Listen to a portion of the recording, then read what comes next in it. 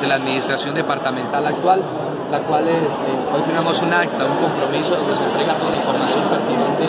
al proceso del palme de acuerdo a la normatividad que se tiene establecida. Ya entraremos a la posible revisión de toda la información condensada allí en estas memorias y posterior tenemos una fecha donde vamos a hacer alguna eh, sugerencia o ampliación de la información, pero creo que está la claridad eh, de cada uno de los procesos y que Dios mediante pues un proceso de empalme con total tranquilidad, donde sabemos que el departamento de ha hacer un trabajo importante y que el objetivo es poder continuar estos cuatro años. Prácticamente el gobernador saliente le dijo, están las llaves y el 31 de diciembre estarán,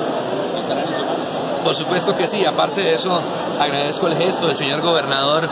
donde prácticamente se ha convertido en un aliado importante a través del gobierno nacional para poder apoyar este proceso. Y creo que entre más unamos esfuerzos de una y otra corriente política, es que podemos sacar adelante este departamento. Y eso queremos apostar estos cuatro años. ¿Qué le dice, qué le dice esta cantidad de gente que está presente aquí hoy? Bueno, primero, como lo he mencionado, Daniel, agradecido con Dios, agradecido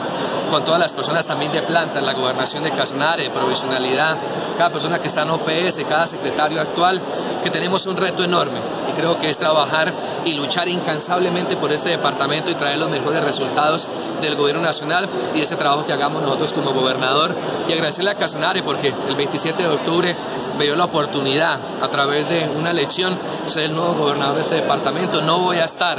eh, creo que en menos de lo que hizo Alirio Barrera, es el reto que tenemos. Como lo dije en campaña, hoy todavía somos un potro de 33 años de edad que tiene toda la capacidad, que tiene toda la energía, que tiene toda la berraquera de poder ir al ministerio, de luchar y poder sacar este hermoso departamento adelante. Ingeniero Salomón, hay algunos administradores recientemente electos que han manifestado que en estos dos meses que restan ya para el tema de posesión van a empezar a trabajar de lo que es plan de desarrollo. ¿Ustedes eh, van a hacer lo mismo?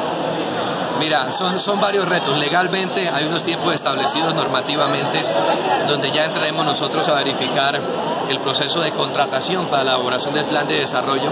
hemos empezado a hacer un trabajo importante con los gremios y creo que es ahí donde va a surtir realmente ese plan de desarrollo que vamos a tener. Por supuesto que en campaña tenemos algunos proyectos ya focalizados, los cuales vamos a empezar a desarrollar estos cuatro años y creo que hemos empezado a hacer esos importantes acercamientos, mesas de trabajo con diferentes gremios, para que el día que lleguemos a hacer la elaboración de ese plan de desarrollo tengamos claridad cuáles son los proyectos que se van a invertir ya definitivamente.